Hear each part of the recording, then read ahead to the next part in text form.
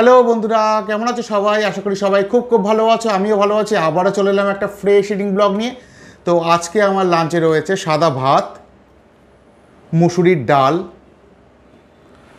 সাথে এরকম গোল গোল চাকা চাকা করে আলু ভাজা আর রবিবার স্পেশাল চিকেন তো শুরু করে দেই। আলুগুলো একটু এই পাশে রাখি। হুম। এই পাশটা তাহলে খেতে আমার একটু সুবিধে হবে।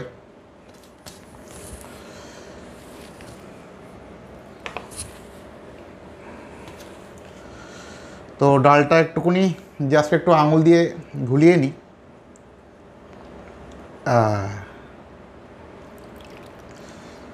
লঙ্কা, একদম ফাস্ট একটা লঙ্কা পড়ল। ভালোই হয়েছে একটা লঙ্কা পড়েছে। আজকে আমি সরু সরু লঙ্কা কিনেছি। ভেবেছিলাম ডালের সাথে খাব, কিন্তু মানে খেতে পারার সময় আমি একদম ভুলে গেছি ওটা নিতে। ভালোই হয়েছে।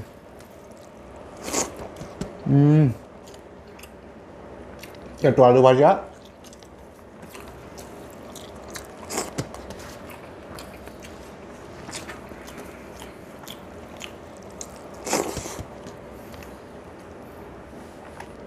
একটু কাঁচা লঙ্কা খাই।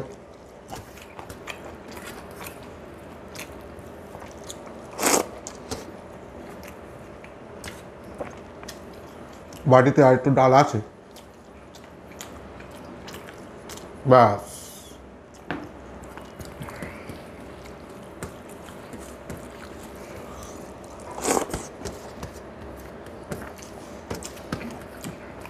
মুসুরির ডালের সাথে আলু ভাজা, আলু ভাতে আলুর চোকা, সবই ভালো লাগে।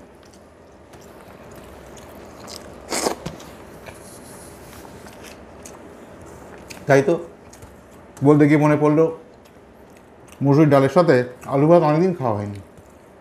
দেখি কালকে একটু ডালের সাথে আলু ভাতে খাব।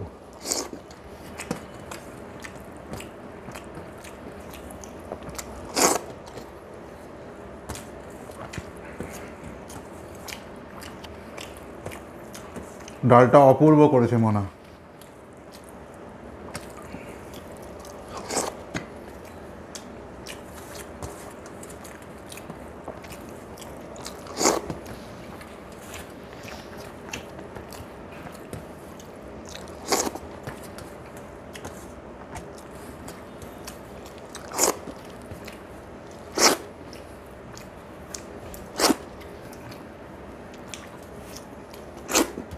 এই একটা আলু ভাজা বাঁচিয়ে রেখেছি শুধু খাব। আলু ভাজা জিনিসটা দারুণ লাগে। আহা। ব্যাস, এইবারে চিকেন খুব সিম্পল রান্না, হালকা পাতলা রান্না। আর যেহেতু এখন মা নেই বাড়িতে, আর আমার ওয়াইফ মোনাও ব্যস্ত থাকে সারাদিন, তো বলেছি যে খুব বেশি রান্না করতে হবে না, ওই দুটো করে পদ করো, তাহলেই হবে। আর একটু ভাতও একেবারে নিয়ে নিই থালার ভাত অনেকটা কম। থাক, লাগলে আবার পরে নেওয়া যাবে। যাক, এইবারে রবিবার স্পেশাল চিকেন আগে ঝোলটা পুরো ঢেলে নিই ব্যাস। আর এর মধ্যে আলু আছে, আলুটা থালার পাশে নিই দুটো আলু দিয়েছে। হ্যাঁ দেখো।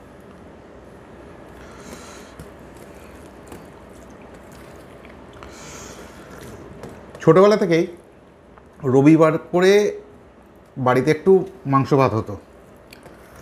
আর এখনও তাই, যদি বাই চান্স কোনো রবিবারে মাংস ভাত না হয়, তাহলে খেতে বসে মুডটা অফ হয়ে যায়। আমার মনে হয় বেশিরভাগ বাঙালিরই এই ব্যাপারটা আছে, যে রবিবার করে কিন্তু বাঙালিরা একটু মাংস ভাত খেতে পছন্দ করে।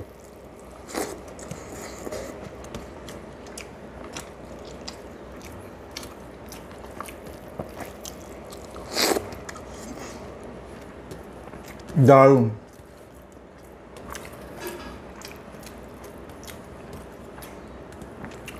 পেঁয়াজ দিয়ে, রসুন দিয়ে, আর খুব কম মশলাপাতি দিয়ে রান্নাটা করা, খুব হালকা পাতলা এবং খেতে অপূর্ব।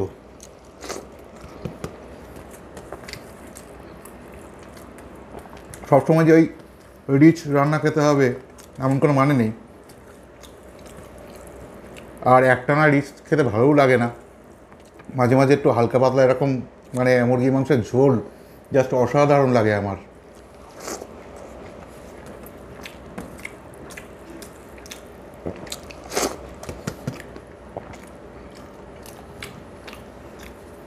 মাংসের সাথে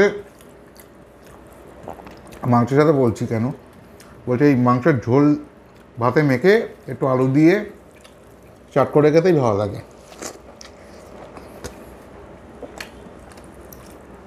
একটু মাংস খাই এর সাথে।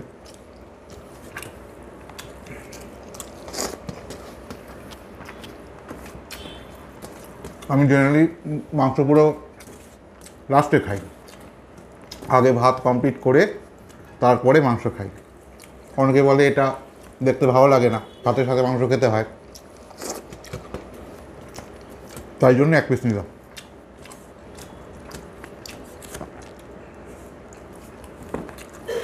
একটু আলু থাকলে ভাতের সাথে মাংস দিয়ে চাট করার কোনো প্রয়োজনই হয় না।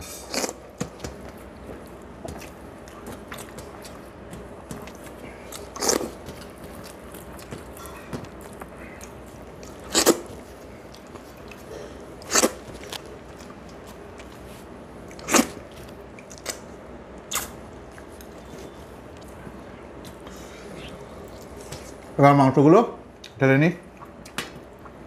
আর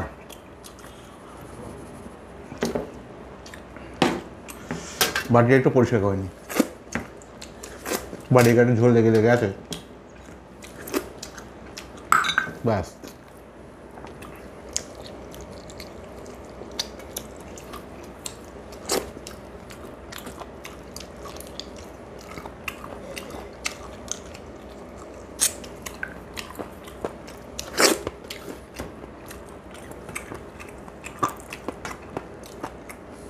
আমার সলিড পিসের থেকে না, একটু হার্ড পিসই ভালো লাগে খেতে।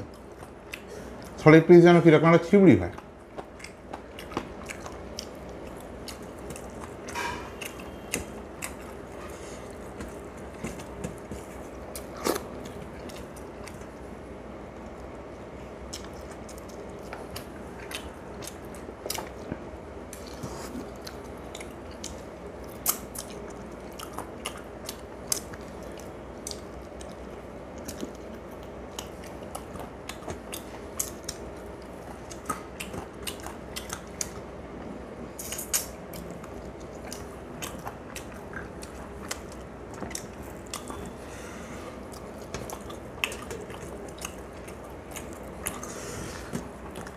একটু ঝোল দিয়ে মাখিয়ে মাখিয়ে খেতে দারুণ লাগে।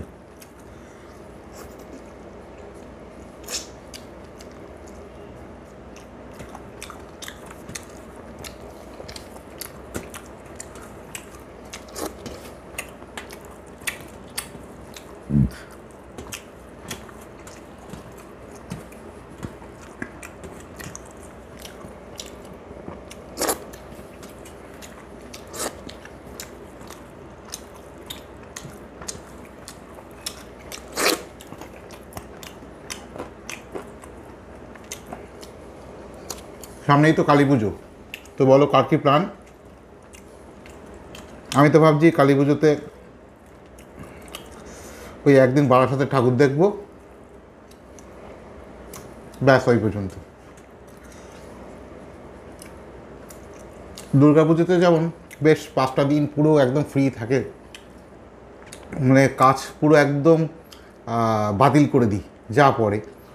কালী পুজো একদিনই এবং সত্যি কথা বলতে কালী পুজোয় ছুটিও নেই আমার। সারাদিন কাজেই থাকি। ওই রাত্রিবেলা এসেই যা, একটু হই হুল্লোড় আর এইসব আর কি, একটু বাড়িতে প্রদীপ জ্বালাই মোমবাতি জ্বালাই, আর তারপরে ঠাকুর দেখতে বেরোই। ওই এক রাতেই আর কি আমার কালী পুজোর এনজয়। তো এবার ভাবছি,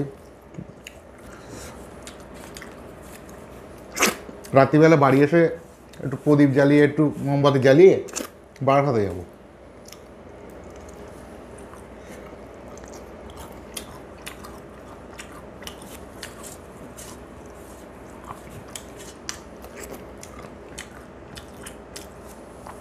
এটা পরিষ্কার করে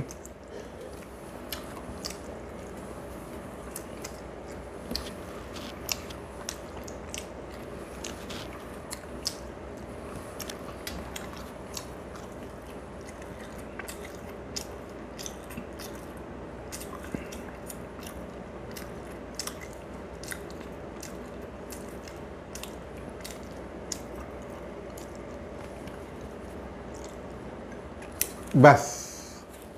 থালা পুরো পরিষ্কার, আজকের মতন লাঞ্চ আমার এখানেই কমপ্লিট তো তোমরা সবাই ভালো থেকো, সকলকে ভালো রেখো। দেখা হবে পরবর্তী ব্লগে অন্য কিছু খেতে খেতে। তো যাই হোক চ্যানেলটা সাবস্ক্রাইব করতে ভুলো না কিন্তু।